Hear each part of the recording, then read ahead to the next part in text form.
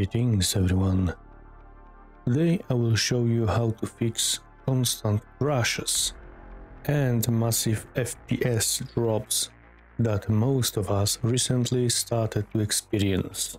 We still do not know for a fact what is causing it, neither officially or unofficially. There is a lot of theories, but nobody knows anything for sure. Now, I cannot guarantee that the solutions I will show you today will fix your problem 100%. They helped me, they helped Phil from NGNG TV, they helped many other people. Will they help you? You will know in couple of minutes. First, the fastest and easiest part of solution. Some of you, it may already fix all the issues. What you need to do is to go to the user folder. Now you need to find the folder named saved games. Here you're finding MechWarrior Online and shader directory.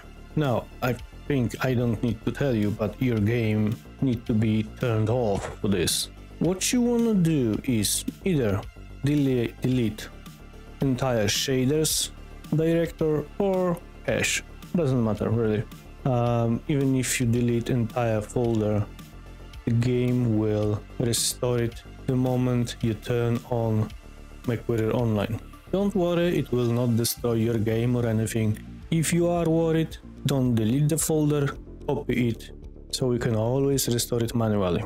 But I don't think you will need it. Now, some of you use the Steam version of a game, then the pathway to your directory will look somewhat differently. You need to go to wherever you are installing your Steam games. In my case, it is Games, Steam Apps, Common.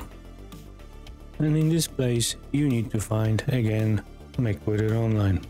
It will look exactly the same as in previous case and that will fix the problem for most of you both crashes and massive fps drops. Now for other part of solution namely nvidia control panel. I'm afraid mine is in polish. I cannot do anything about it. So i will guide you in english. This will be named nvidia control panel. Click it. Do it.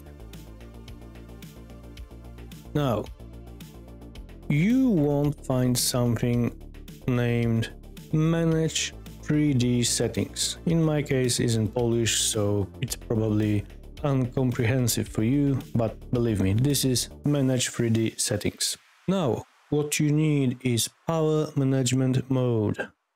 So go down and in my case of course it's named differently but in yours it will be power management mode usually it is set for optimal as a default. Change it for maximum performance. Now you want to find something that is called texture filtering quality. In my case this is it. But remember yours in, in English probably or German or whatever language you're set up for. So texture filter quality and change it for maximum performance. This will probably gain you least if anything at all but it may fix your issue so do it.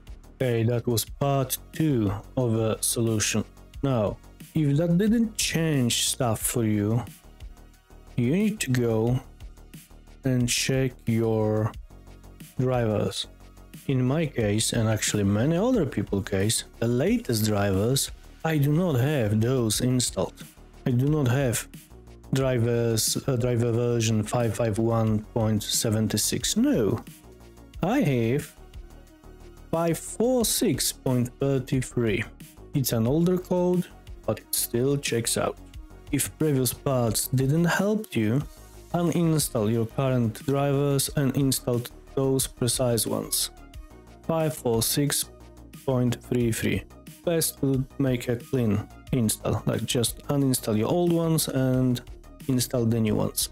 Now, if previous solutions didn't help you, which is a possibility, you should probably clear your cache.